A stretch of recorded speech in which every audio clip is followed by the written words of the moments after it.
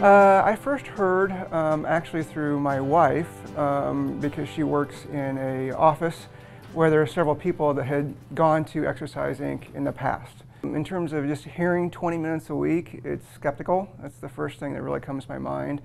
Um, I also heard that was extremely intense. Um, I was like, okay, you're crazy to go intense for 20 minutes. I don't really want to kill myself for 20 minutes. So uh, it took a while for me to actually warm up to the concept of 20 minutes a week. I had started uh, a journey to lose weight. Um, I was extremely heavy when I started this journey. Um, it had been a pattern pretty much throughout most of my life. Um, and I was at the point where I was getting somewhere with my diet, but not as far as I wanted to. So I kind of knew I needed to take the next step. So for me, hearing about Exercise Inc. in terms of lifting, I was like, well, if I'm going to get back into something exercise, uh, I want to lift because I think that would be what would actually let me commit to that. And the 20 minutes was like, well, I'll give it a shot. If this works, it's 20 minutes.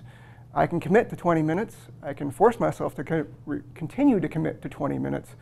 And so that's kind of why I said, okay, let me give Exercise Inc. a shot. When I started my journey, uh, I was up about 294. Um, I had lost a little bit of weight coming into it, so the first time I clocked in at, at uh, Exercise Inc. was about uh, 274. And over the course of, uh, it's now been almost two years, um, I've lost 100 pounds. Um, and so by losing weight and, and then starting to feel good about the fact that you're getting yourself into shape, there's a lot of self-esteem that comes with that, and now you feel good.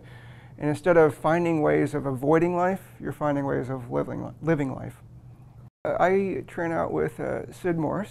Uh, we affectionately call him Sid Vicious, um, which is kind of, you know, a fun term to call him. Um, it's not that he's, you know, mean or mean-spirited when he comes. We actually have a lot of fun. Uh, my wife does actually go to Exercise Inc. as well, and we have a completely different experience with it, which is actually really, really cool about the trainers at Exercise Inc. They kind of adopt to the personality they're, that they're training.